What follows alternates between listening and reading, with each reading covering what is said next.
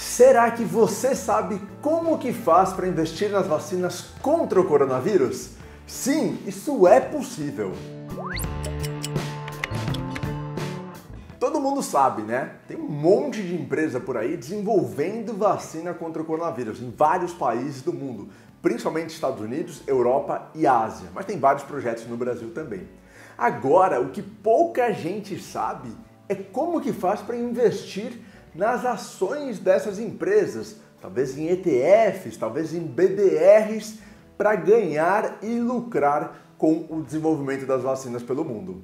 E aqui um pequeno spoiler, tá? Warren Buffett também está investindo em algumas dessas empresas. Nesse vídeo, então, eu vou te contar como que você pode fazer esses investimentos. Meu nome é Bernardo Pascovitch, sou fundador do IEB, que dá nome aqui ao canal, uma plataforma totalmente gratuita e online para você encontrar e comparar os melhores investimentos. Importante você saber que todos os investimentos que eu mencionar nesse vídeo têm propósito somente de educação financeira. Não é para você fazer um investimento por conta desse vídeo, tomar uma decisão ou entender como recomendação. Vou contar para você nesse vídeo três formas diferentes para investir nas ações ou nas empresas que estão desenvolvendo as vacinas pelo mundo. Então vamos começar. Forma número 1. Um, comprando diretamente as ações estrangeiras dessas empresas negociadas nos Estados Unidos, na Nasdaq principalmente. A maior parte das empresas farmacêuticas, empresas de tecnologia biológicas, biotechs,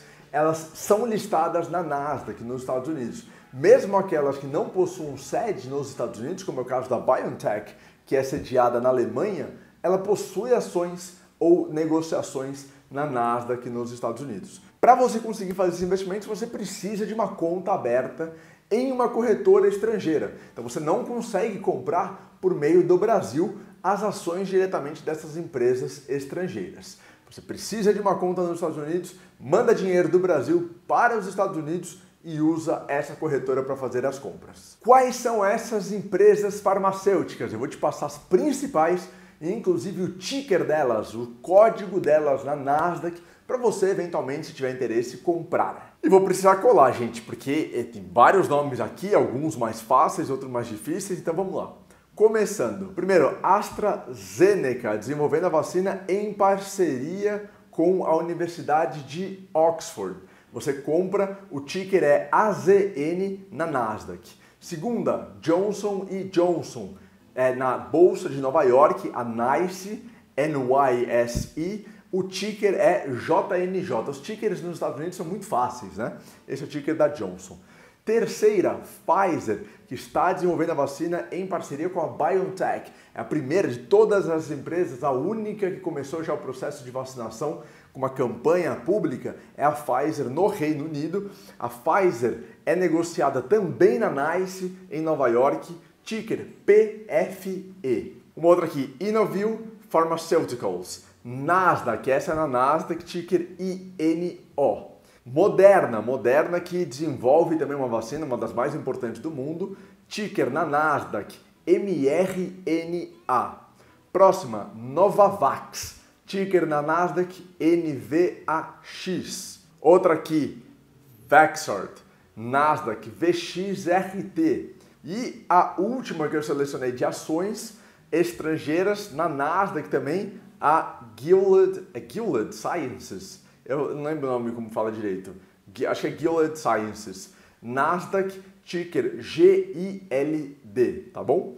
Então essas são as principais farmacêuticas aqui negociadas nos Estados Unidos que você pode comprar as ações diretamente. Então, por exemplo, a puxa, Pfizer começou a campanha de vacinação no Reino Unido, Estados Unidos diz que vai aprovar a Pfizer nessa semana ou na próxima, Brasil está negociando com Pfizer, quero ter uma exposição e quero investir na Pfizer. Você pode comprar as ações diretamente da Pfizer na bolsa de Nova York com o ticker que eu te passei.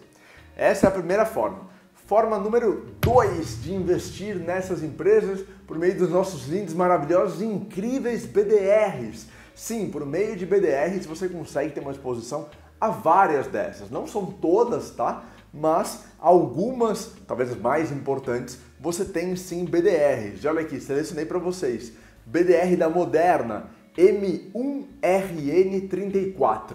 BDR da AstraZeneca, A1 ZN34, BDR da Pfizer, PFIZ34, BDR da BioNTech, B1NT34, BDR da Johnson, JNJB34 e BDR da Gilead Sciences, GILD34. Então você encontra várias dessas empresas com possibilidades de investimento por meio de BDR. Aí você não precisa abrir uma conta numa corretora estrangeira, não precisa enviar o dinheiro do Brasil para os Estados Unidos por meio de uma operação de câmbio.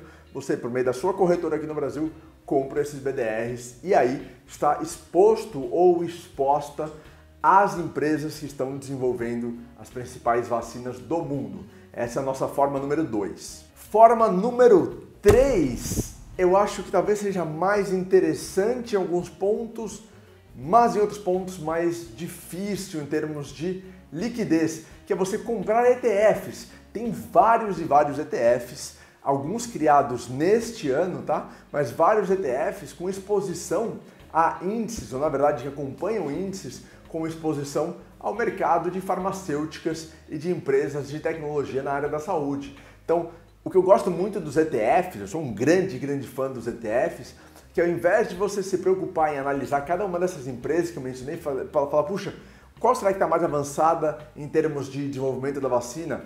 qual já tem contratos com países pelo mundo para vender a vacina, diferenciais de tecnologia. Pô, não sou médico, não sou da área, não entendo bulhufas disso.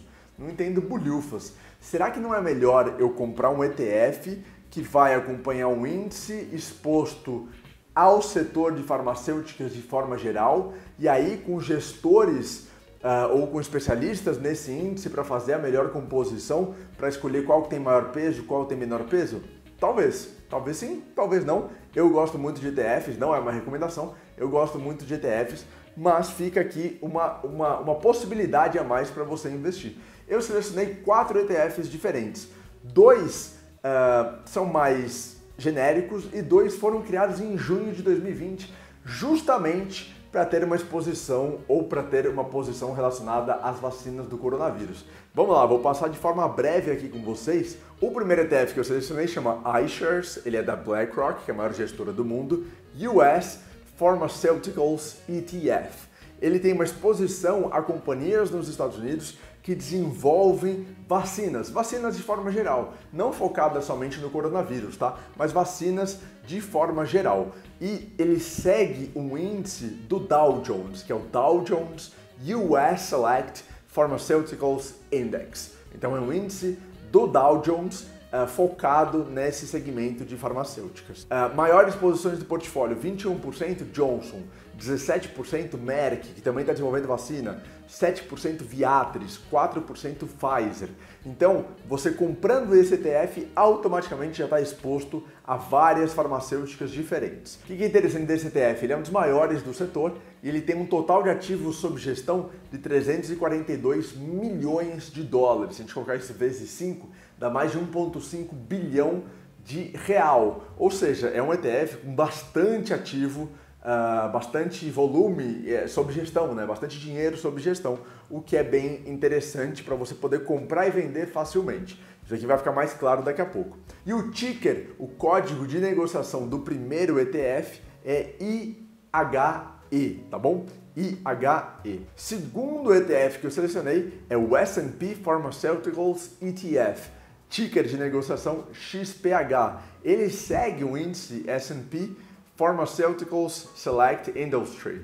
Então ele uh, segue esse índice do S&P, não é do Dow Jones como primeiro, é do S&P, representa as principais farmacêuticas do setor do S&P, do índice S&P. A gente pega o S&P e aí seleciona as principais farmacêuticas do, do, do índice, criou esse outro índice de farmacêuticas. Maiores posições a Reata, não sei como falar, Reata Pharmaceuticals com 5%, Pfizer com 5%, Royalty Pharma com 5%, Viatris, de novo, que apareceu no primeiro, primeiro ETF com 4%, Catalent com 4%. Tem um total de ativos sob gestão de 256 milhões de dólares, mais de um bilhão de real. Também um volume bem relevante, bem grande e interessante para você conseguir comprar e vender esses ETFs na bolsa de acordo com o seu interesse. Esses dois primeiros, como eu mencionei, são mais genéricos. O terceiro e o quarto, aí eles foram criados especificamente para o coronavírus. O terceiro, ele chama ETF, Managers, Treatments, Testing and Advancements. E o código, o ticker dele, é, enfim, é, é, é, é meio sádico, né? É GERM, que em inglês significa germe. Então, o ticker, do, o ticker desse ETF é germe, tá?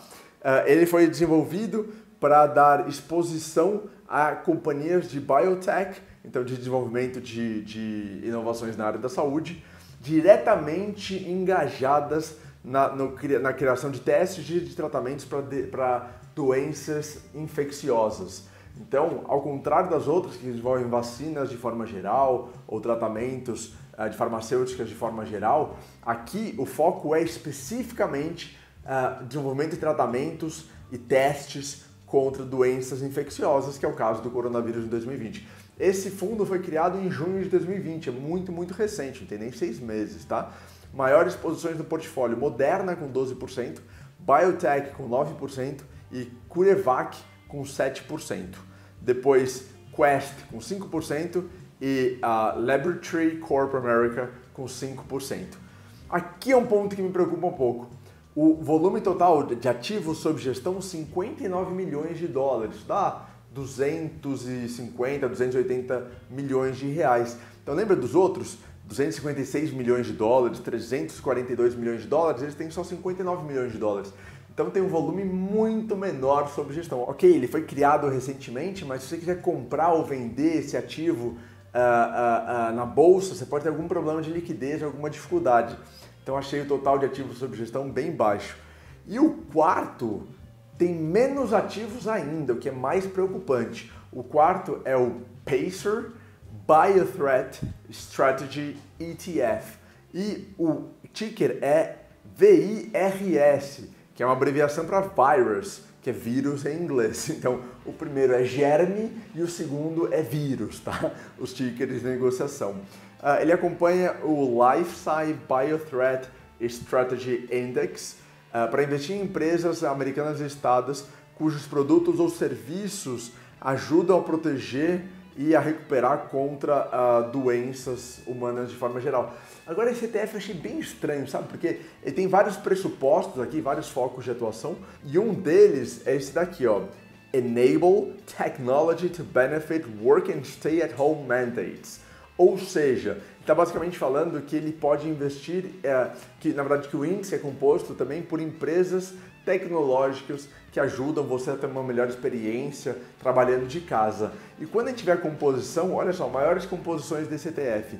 Nvidia, 8%, Amazon 6%, Netflix 5%, Walmart 5%, Zoom 4%. Não tem nenhuma farmacêutica aqui nas mais relevantes.